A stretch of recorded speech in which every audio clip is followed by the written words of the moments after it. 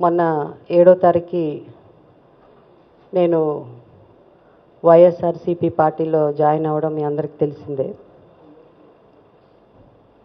నన్ను రాజకీయాలకు తీసుకొచ్చింది మన late great chief minister Rajasekhara Reddy garu అన్నది మీ అందరికి తెలుసు.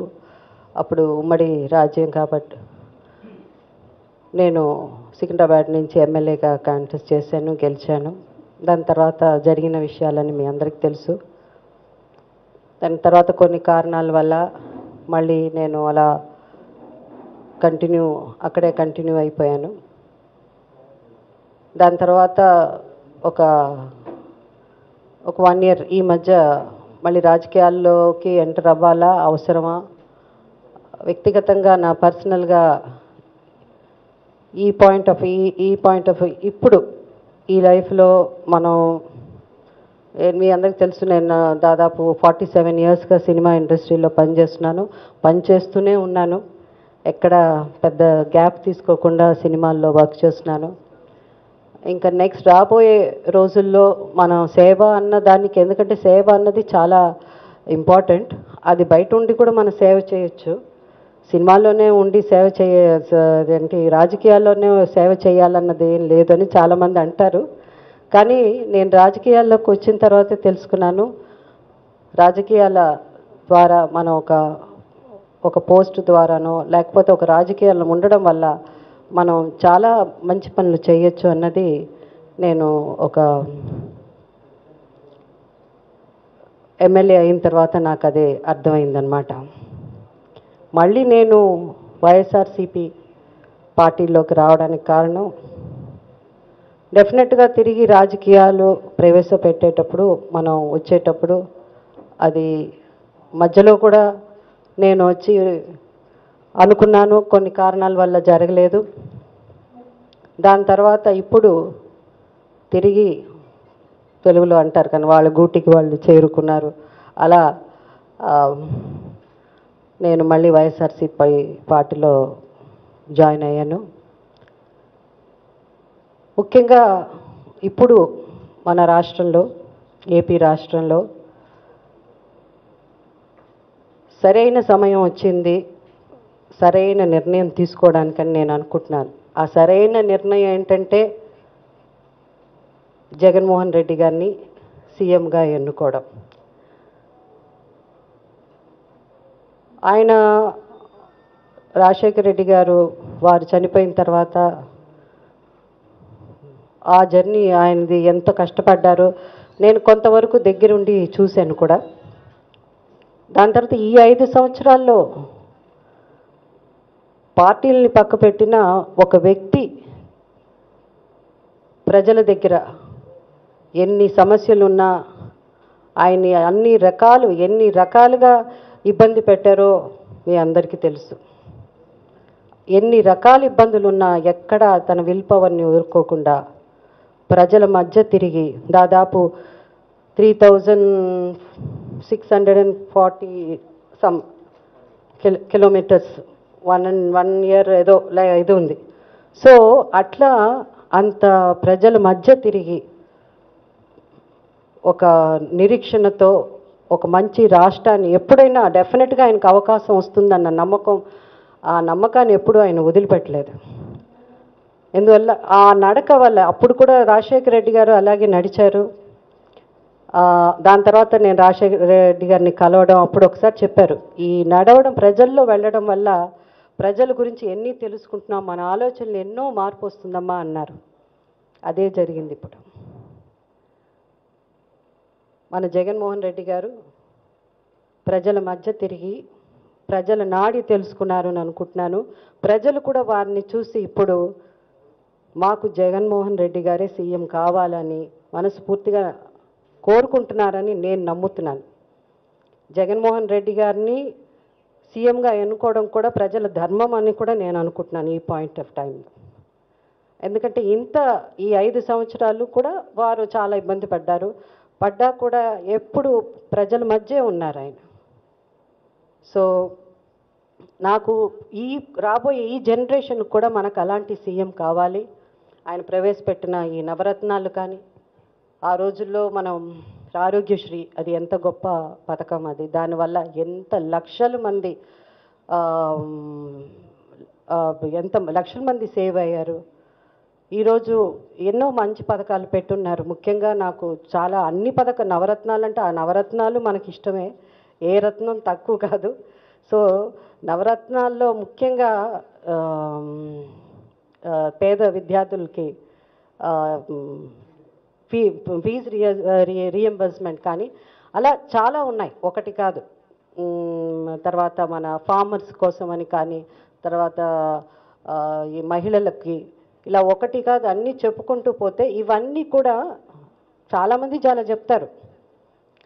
పథకాలు చెప్తారు అది ఇంప్లిమెంట్ చేస్తారా అది సరిగ్గా జరుగుతుందా ఎలక్షన్స్ వచ్చినప్పుడు ఇవన్నీ మామూలే ఇలాంటివన్నీ మనం బయట చాలా వింటూ ఉంటాం. బట్ జగన్మోహన్ రెడ్డి గారి విషయంలో మాత్రం నేను హండ్రెడ్ పర్సెంట్ షూర్ అండి ఇది నా మనసులోని చెప్తున్నాను. ఆయన తప్పకుండా చాలా చాలా మంచి పనులు తను ఇచ్చిన మాట ప్రకారం ని- నిలబడే మా వ్యక్తి. కాబట్టి ఈ పనులన్నీ ఎందుకంటే ఇప్పుడు ఆయనకి ఇట్స్ అ ఛాలెంజ్. తను చే చూసిన స్ట్రగుల్ కానీ తను పడిన స్ట్రగుల్ కానీ ఇవంతా ఒక ఛాలెంజ్ అండి. మన ఏపీ రాష్ట్ర ప్ర ప్రజలకి తప్పకుండా ఆయన మేలు చేస్తాడు. ఇది ఆయన చేసి చూపిస్తాడు. కానీ ఆయన చెయ్యాలంటే ఏంటి? మనం ఒక అవకాశం ఇవ్వాలి. అవకాశం ఇస్తేనే కదా. అవకాశం ఇవ్వకుండా ఉండకూడదు మనం. సో ఇప్పుడు ఆయనకున్నంత ఎక్స్పీరియన్స్ బోత్ సైడ్స్ అన్నీ చూసాడు కాబట్టి ఆయనకున్నంత ఎక్స్పీరియన్స్ ఎవరికీ లేదు ఇప్పుడు అని అనుకుంటున్నాను ఇప్పుడు ఉండే జనరేషన్లో. సో తప్పకుండా యువత అంతా ఆయన వెనకే ఉన్నారు.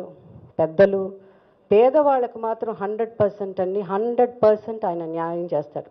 పేదవాళ్ళకి కానీ అండ్ ఫార్మర్స్ సో రైతు వాళ్ళు ఇంపార్టెంట్. అంటే నాకే పదిహేను సంవత్సరాల ముందు ఫార్మర్స్ అంటే రైతులు అంటే చా ఎంత ఇంపార్టెన్స్ వాళ్ళు మనకి ఎంత మంచి చేస్తున్నారని నాకే తెలియదు fifteen years back. Fifteen years బ్యాకే నాకు తెలిసింది రైతన్న అంటే ఎంత గొప్ప. ఎందుకంటే అతను వాళ్ళు లేనిదే మనం లేదు అన్నది చాలా లేట్గా తెలుసుకున్నాం. అంటే ఎన్వైర్న్మెంట్ గురించి తెలుసుకుని తర్వాత ఇవ ఇవన్నీ వాటి గురించి ఎన్వైర్న్మెంట్ గురించి తెలుసుకున్నప్పుడు ఇంకా రైతు గురించి తెలుసుకో తెలుసుకుని అట్లా తెలుసుకున్న వాళ్ళం మేము. బట్ ఈరోజు అలాంటి రైతులకు కానీ పేదవాళ్ళకు కానీ జగన్మోహన్ రెడ్డి గారు సీఎం అయినప్పుడు చూడండి మీరు తప్పకుండా వారందరినీ ఆయన ఇచ్చిన మాట నిలబెట్టుకుంటాడు. వాళ్ళందరికీ రాజశేఖర్ రెడ్డి గారు ఎంత గొప్ప చేశారో వారిని మర్చిపోకూడదండి. ఆయన చేసిన మంచి పనులు. బహుశా ఏ చీఫ్ మినిస్టర్కు అంత అంటే ప్రే ప్రజల కోసం మనం ఒక చీఫ్ మినిస్టర్ అయితే అందరూ చేస్తారండి. అందరూ పెడతారు అది. ఎవరు ప్రతి చీఫ్ మినిస్టర్ చేసేదే అది. కానీ ఆయన రాజశేఖర రెడ్డి గారు కూడా ఎప్పుడు పాదయాత్ర చేశారో ఆ పాదయాత్రల నుంచి ఆయన చెప్పారు ఒక్కొక్క ఇంటికి వెళ్ళినప్పుడు నాకు ఎంత మనసు కష్టపడింది. ఒక్కొక్క ఊరు వాడ తిరిగినప్పుడు నాలో ఆలోచనలోనే మార్పు వచ్చింది. అదే అదే ఈరోజు జరిగి జగన్మోహన్ రెడ్డి గారు డెఫినెట్గా రాజశేఖర రెడ్డి గారు ఎంత చేశారో అంతకంటే ఎక్కువే చేస్తారన్న నమ్మకం నాకుంది. అలాగే మార్పు అన్నది కూడా రావాలండి. జగన్మోహన్ రెడ్డి గారిని ఇప్పుడు చీఫ్ మినిస్టర్ ఆంధ్ర రాష్ట్ర ప్ర ప్రజలు తప్పకుండా చేస్తారన్న విశ్వాసం నాకుంది. ఎందుకంటే మార్పు రావాలి. చంద్రబాబు నాయుడు గారు ఎక్స్పీరియన్స్ అయ్యి ఉండొచ్చు. ఇంతకుముందు చీఫ్ మినిస్టర్గా చాలా చేశామని. ఆ ఎక్స్పీరియన్స్ అయితే ఇప్పుడైతే అది ఏ విధంగానూ పనిచేయలేదని నా అభిప్రాయం అది.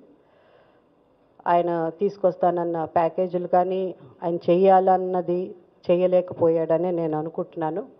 కాబట్టి ఈ సమయం ఇంతకుముందు నేను చెప్పినట్టు ఇది సరైన సమయం సరైన నిర్ణయం తీసుకోవాలి. ఎందుకంటే నిర్ణయం తీసుకోవడం ఒక మార్పు కోసం తప్పకుండా జగన్మోహన్ రెడ్డి గారిని మనం గెలిపించుకోవాలి.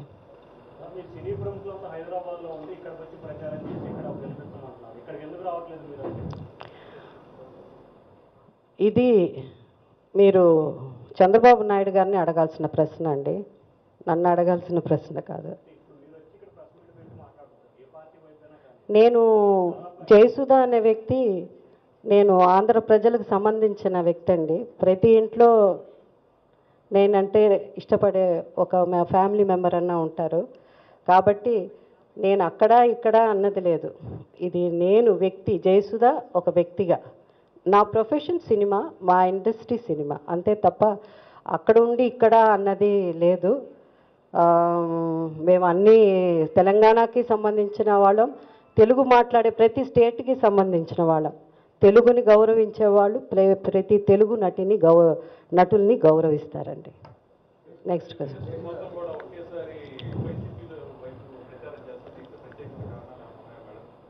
యాక్చువల్గా అండి మన రాజశేఖర రెడ్డి గారు చేసిన ఇండస్ట్రీకి చాలా మేలు చేశారండి.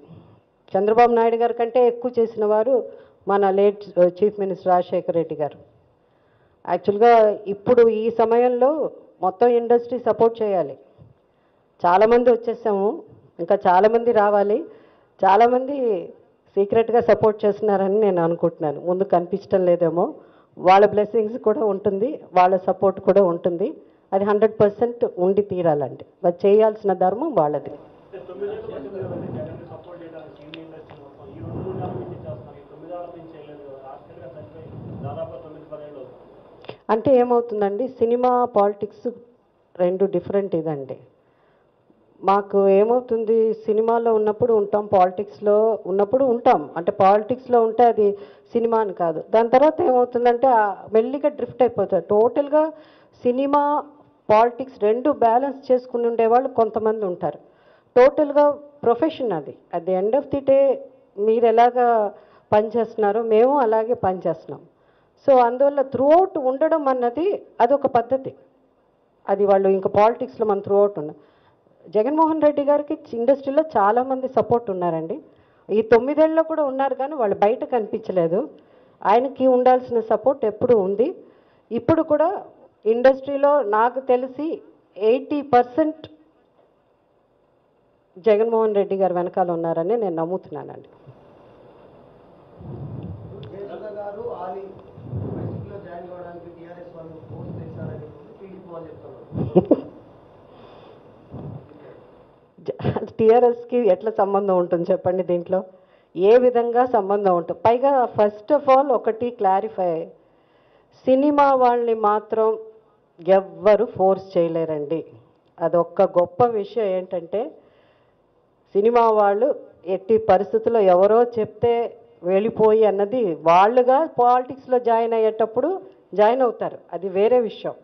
కానీ మీరు ఇక్కడి నుంచి అక్కడ అని అంటే ఏంటంటే మనకి మనం ఏదో ఒక వాళ్ళ దగ్గర నుంచి లబ్ధి పొంది వాళ్ళకి మనం ఏదో విధంగా రుణపడి ఉంటేనే వాళ్ళు చెప్తే వింటాం. ఇప్పుడు మనకి టీఆర్ఎస్ వాళ్ళు చెప్తే అసలు ఎక్కడి నుంచి ఈ రూమర్స్ నేను కూడా న్యూస్ చూస్తున్నాను కాబట్టి నేను వింటే అన్నీ కేసీఆర్ గారు చెప్పారు తర్వాత టీఆర్ఎస్ వాళ్ళు చెప్పేస్తే వచ్చేస్తామా అండి? హైదరాబాద్ ఎక్కువ ఆస్తులు ఉన్నాయి ఇండస్ట్రీ కూడా ఎక్కువ వాళ్ళే ప్రోత్సహిస్తున్నారు కాబట్టి ఆ ప్రజర్స్ ఉన్నాయనేది ఎక్కువ రూమర్స్ నడుస్తున్నాయి. అవన్నీ అపోజిషన్ పార్టీ చేసిన పని అండి ఏదో కావాలి కదా. రోజుకు కొత్తగా ఉంటే తప్ప మీకు కూడా మీడియా వాళ్ళకి ఏం విషయం ఉండదు. సో ఇప్పుడు మీడియానే కాకుండా ఇంకా అది ఎక్స్టెండెడ్ ఎక్స్టెండెడ్ సోషల్ మీడియా ఇంకా అలా వెళ్తూనే ఉంది. పొద్దున మనకి ఒక ఫ్యామిలీ మెంబర్ లాగా సోషల్ మీడియా కూడా అది లేనిదే లేదు జీవితం. మంచినీళ్ళు లేకపోయినా పర్వాలేదు కానీ అది చాలా ఇంపార్టెంట్ అన్న ఇది అయిపోయింది పొద్దున్న లేసి నేను ఫస్ట్ నీళ్ళు అది కూడా తాగట్లో ఇమీడియట్గా ఫోన్ ఆన్ చేస్తాం లేవగానే. సో అదంతా క్రియేట్ చేసింది అపోజిషన్ పార్టీ అంటే అపోజిషన్ పార్టీ అంటే టీడీపీ వేరెవరు మనది ఉన్నది ఉన్నట్టు మాట్లాడుకోవాలి కదా. వాళ్ళే టీవీలో వాళ్ళే కదా మాట్లాడుతున్నారు. సో అసలు సంబంధం ఏమిటండి అబ్సల్యూట్లీ ఇట్స్ నాట్ ట్రూ అండి. సంబంధమే లేదు ఇది.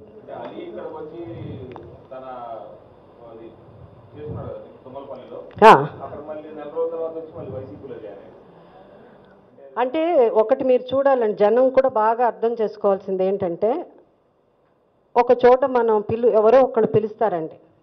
ఏదో నాకే ఒక చోట ఉద్యోగం ఇస్తాం రావమ్మా అని ఒక ఊరు పిలుస్తారు. పిలిచిన తర్వాత నేనేదో ఎంబీబీఓ ఎంబీఓ ఏదో మాస్టర్ ఏదో ఏదో పెద్ద చదువు చదువుకున్నా ఎంబీఏ ఏదో చదువుకున్నాను అనుకోండి. అక్కడికి వచ్చిన తర్వాత నీకు ఇది చేస్తాను అది చేస్తాను అని ప్రామిస్ చేసి లాస్ట్లో అక్కడెక్కడ నించో కూర్చో తర్వాత చూస్తాను. లేకపోతే వేరేదో పని అంటే ఎవరైనా వాళ్ళ మీద ఒక విశ్వాసంతో ఒక నమ్మకంతో వాళ్ళతో పాటు తిరిగిన ఆలి ఆల్మోస్ట్ ఏదో చాలా ఏళ్ళు ఉన్నట్టున్నాడండి టీడీపీలో. ట్వంటీ ఇయర్స్ ఏదో చెప్తా ఉన్నాడు తను.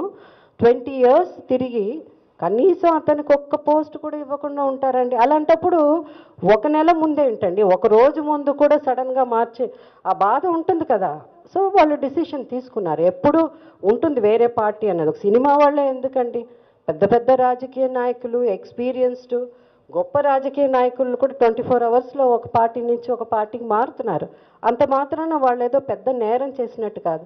ఎక్కడైనా వ్యక్తికి తాను బాధపడినప్పుడే ఇది జరుగుతుందండి.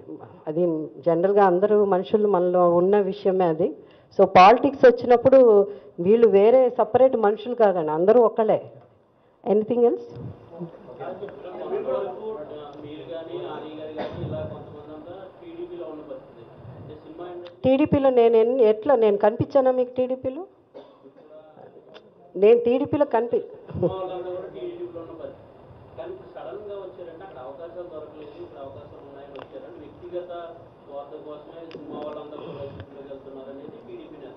అండి వ్యక్తిగత స్వార్థం అంటే ఈరోజు ఒక నా పార్టీలోకి ఎందుకు వస్తామండి? మనకు పని చెప్పాలి కదా.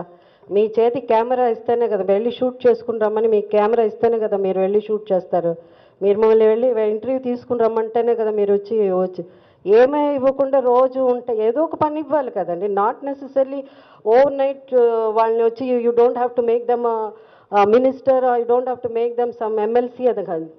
ఒక్క పోస్ట్ ఇవ్వండి. ఏదో ఒక డెసిగ్నేషన్ లేకుండా నే జయసుధ అంటే అందరికీ తెలుసు కదా ఆలి అంటే అందరికి తెలుసు కదా. ఏమని వెళ్ళి రోజు నించుంటాం? మేము సినిమా యాక్టర్లు కానీ అంతకని మేము వెళ్ళి స్టేజ్ల మీద డ్రామాలు వేయడానికి కాదు కదా వచ్చింది. ఏదో ఒక సేవ చేయడానికి వచ్చినప్పుడు అట్లీస్ట్ అక్నాలెడ్జెస్ కొంచెం ఒక మర్యాద ఇవ్వండి మాకు కూడా మాకు ఒక గౌరవాన్ని ఇచ్చి ఏదో ఒక మీరు పోస్టే ఏదన్నా ఇచ్చి ఇదేం పోస్ట్ మేమేం చేస్తాం అని అంటే అప్పుడు తప్పు పట్టచ్చు.